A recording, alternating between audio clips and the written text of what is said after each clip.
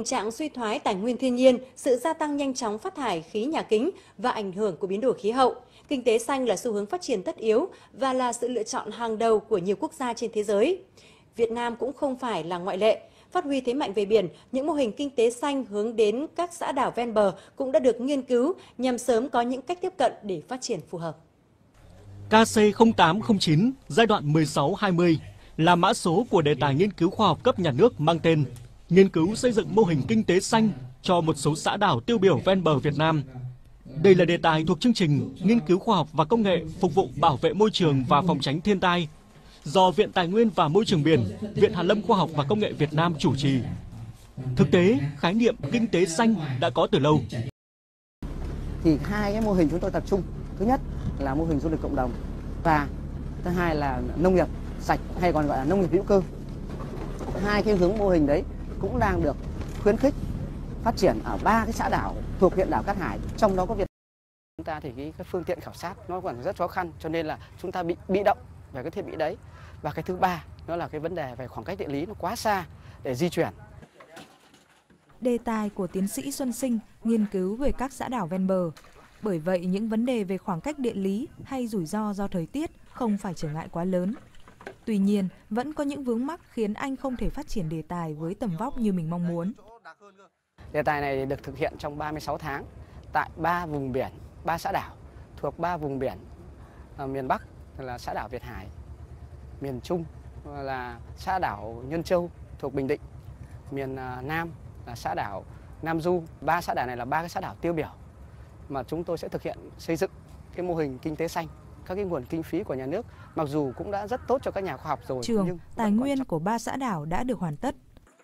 Một số dự án trong mô hình kinh tế xanh đang dần được hình thành từ những cuộc khảo sát, trao đổi với người dân trên xã đảo Việt Hải. Thế cô chú đã làm du lịch à, được bao lâu rồi ạ? làm có chục năm rồi. Chục năm rồi ạ. Thế là gần như là cái hộ đầu tiên làm đấy. Vâng. Thế nhưng mà sau 10 năm làm cháu thấy là cái du lịch nhà cô nó vẫn ở cái mức mức là vẫn là như mức ban đầu thôi. Mình chưa có một cái định hướng, mình chưa có kiểu tư vấn hay là mình mình không có vốn. cái quan trọng là không có vốn Không có vốn. có tư vấn Thực ra thì cái định hướng thì người ta cũng một thì dẫn đến là gì ạ? Cái hạt vi nhựa càng trở nên độc hơn.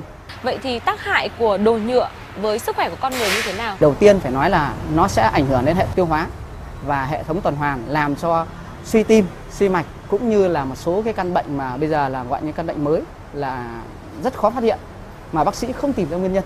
Thế còn lại tác động về kinh tế và xã hội thì à, tác động đến năng suất lao động của toàn bộ cái hệ thống ngành công nghiệp, là nông nghiệp cũng như là các cái nền kinh tế của Hải Phòng nói riêng và cả nước nói chung. Nhưng mà trong cái quá trình nghiên cứu thì tôi đi sâu vào ba cái lĩnh vực chính. Thứ nhất là du lịch. Tác động về du lịch là sao ạ? Gây mất mỹ quan. Mà khi đã gây mất mỹ quan thì khách du lịch sẽ không đến nữa. Mà đã khách du lịch không đến thì nó dẫn đến hậu quả là những người đầu tư du lịch, những người đang làm du lịch không có thu nhập, dẫn đến là không có nghề nghiệp. Cái thứ hai là nuôi trồng thủy sản. Khi mà cá tôm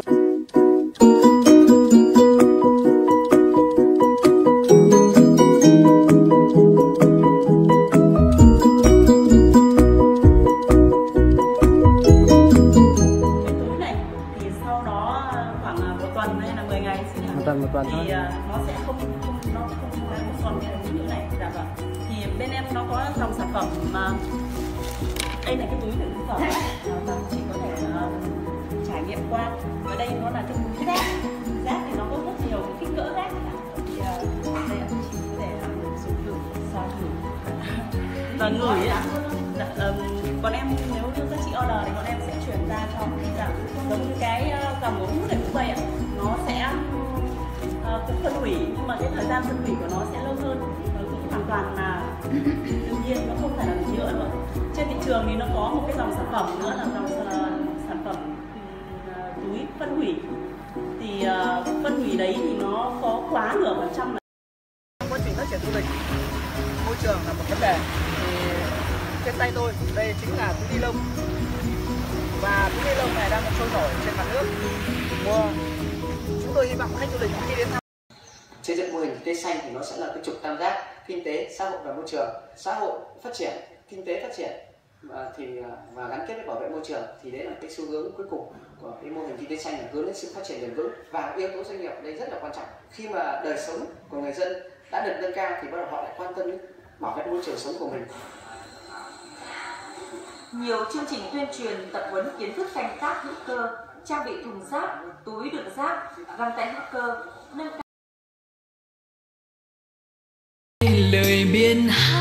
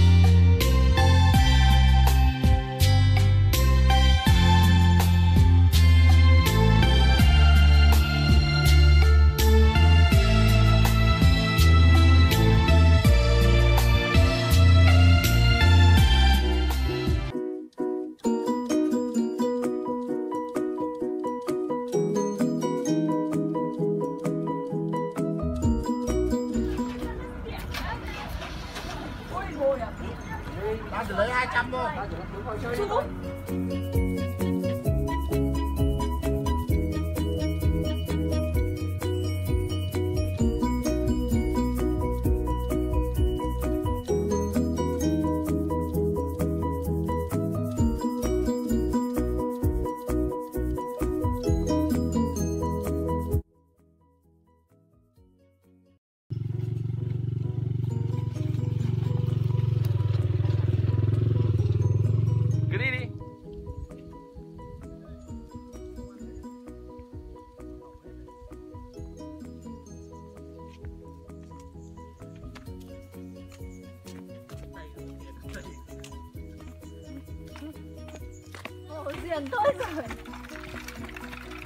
À, trong rừng mọi người sẽ trải nghiệm một cái cảm giác là đạp xe mệt nhưng mà rất là mát.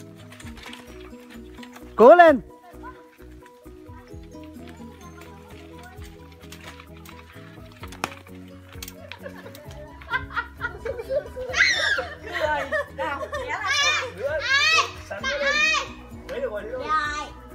Hưng ơi, Hưng có xuống không?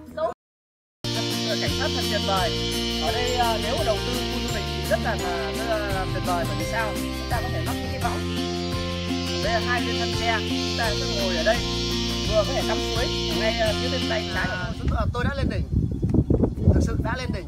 Đây là một câu nói rất ý nghĩa bởi vì sao? Rất mệt để lên được đỉnh. À, mời các bạn có thể nhìn view toàn cảnh giữa một cái thung lũng trùng điệp phía xa xa là biển chính là bến Việt Hải phía đầu kia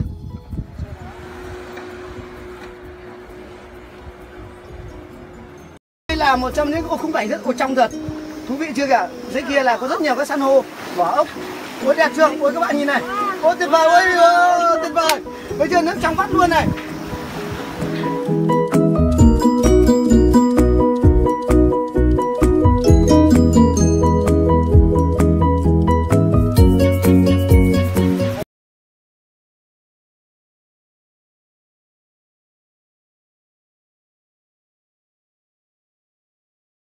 Hai quả nó dễ trồng cái này dễ trồng lắm cái này nhưng mà trồng thì vẫn phải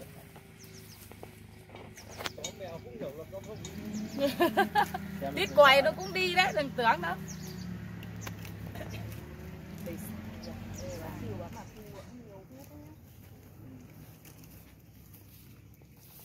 Đấy, xã mình gọi là xã xã gì xã Việt Việt Hải à Vâng, Việt Hải. ừ.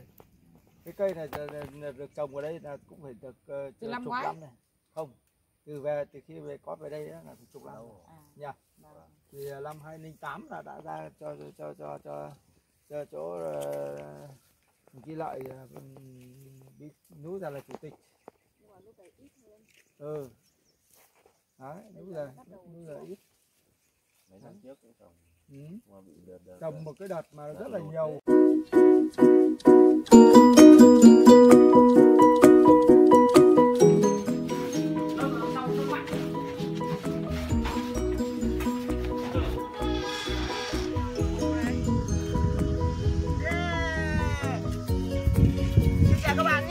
thử nghiệm xe điện nhá.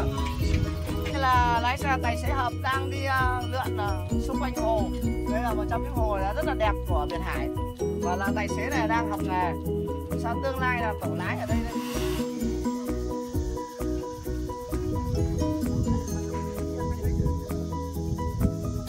Đến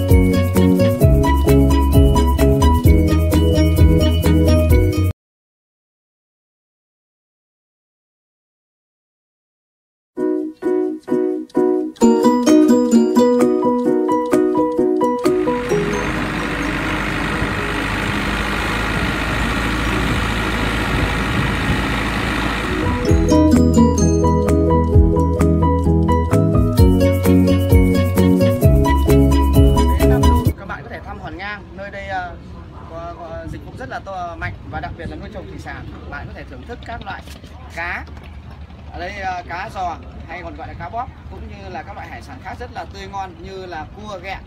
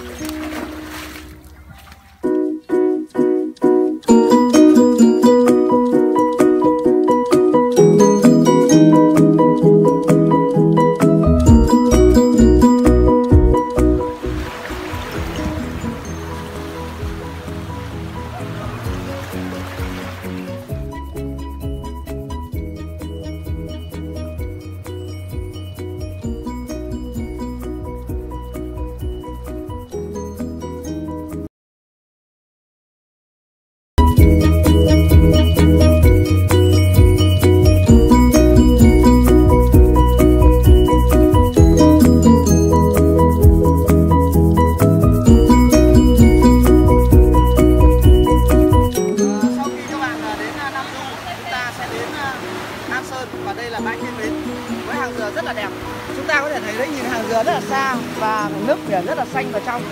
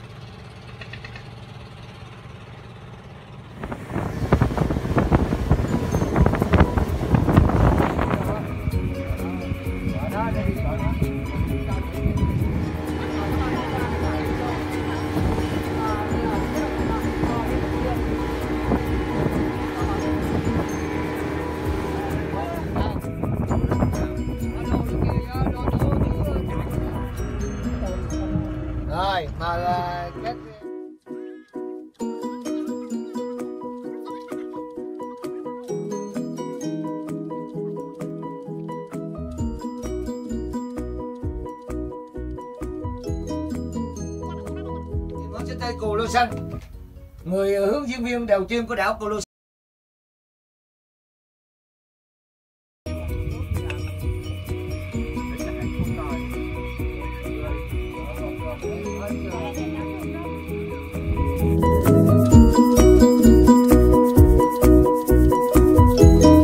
tiên là ờ, nước đây rất là trong xanh biển đẹp.